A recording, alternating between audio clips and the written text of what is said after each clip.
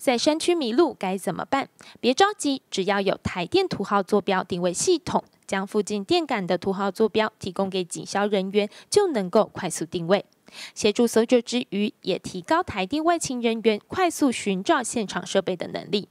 除了图号坐标系统，台电也大力推动馈线调度辅助查询系统，供调度人员及停电抢修人员操作使用。那个系统目前对我来讲差很多，能够能够告诉你说目前的那个馈线，它哈，呃，是有哪个馈线供电，哈啊，它常开点有几个地方，它馈电电有多大，方电流方向怎么走，还有让我们调度人员。可以减轻很多压力，可以很快的就能够把那个该该转的地方下达指令给现场工作人员，或者说我们遥控操作，哦，这个时间点可以拿的很多。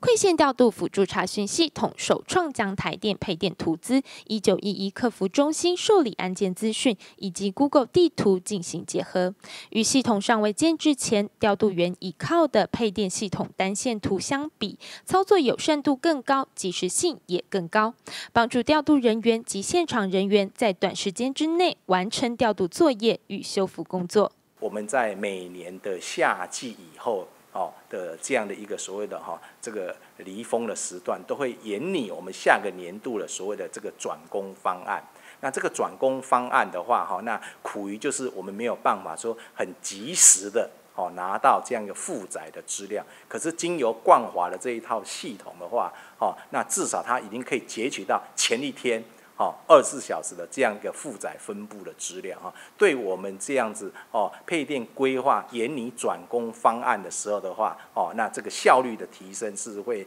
非常的快哈。馈线调度辅助查询系统的开发，不仅对调度人员来说是一大福音，在配电规划的领域也有很大的帮助。现在配电处已经逐渐将这套系统推广到全台各区处，希望在电网规划、调度及运转各个层面上，都将有更好的应用，以维持高水准的供电稳定性。林俊杰、陈庭瑜，台北、桃园报道。